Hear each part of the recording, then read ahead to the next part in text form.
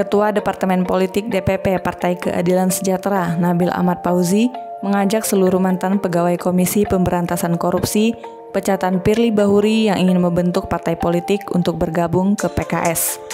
Kata Nabil dikutip dari imposumsel.id Jumat 15 Oktober 2021 terkait adanya wacana para ex pegawai KPK yang diberhentikan karena tidak lolos TWK untuk mendirikan parpol sebagai salah satu pilihan kiprahnya. PKS meresponnya dengan menawarkan mereka untuk bergabung saja ke PKS. Ia menyatakan mendirikan parpol merupakan hak konstitusional setiap warga negara. Namun, menurutnya, mantan pegawai KPK tersebut sebaiknya bergabung dengan PKS saja dibandingkan mendirikan parpol baru. Ia menyatakan membangun parpol baru bukan perkara yang mudah karena diperlukan sejumlah faktor salah satunya ketokohan. Nabil pun mengklaim PKS merupakan parpol punya visi yang sama dengan para ex pegawai KPK. Terpisah Deputi Bafilu DPP Partai Demokrat Kamhar Lakumani menyatakan pihaknya menghormati aspirasi dan keinginan mantan pegawai KPK mendirikan parpol. Menurutnya, langkah itu merupakan pilihan yang kesatria dan terhormat untuk mewujudkan cita-cita dan agenda politik yang diizinkan oleh konstitusi.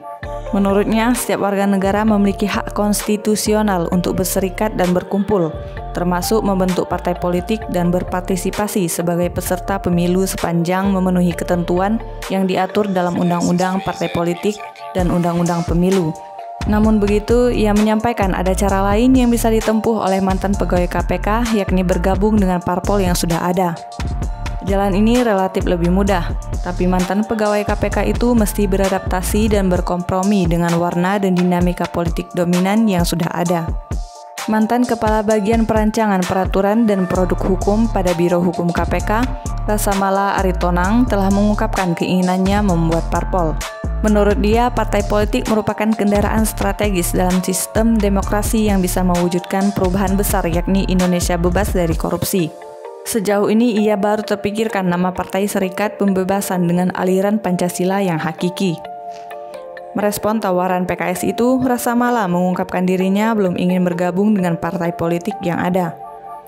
Ia menegaskan sedang fokus mewujudkan pendirian Partai Serikat Pembebasan bersama teman-temannya yang juga mantan pegawai KPK. Pegawai yang dipecat karena dinyatakan tak lolos asesmen tes wawancara kebangsaan itu paham membuat partai politik bukan perkara yang mudah. Namun, ia menilai itu harus dicoba di tengah persepsi publik yang banyak mengkritik partai politik saat ini.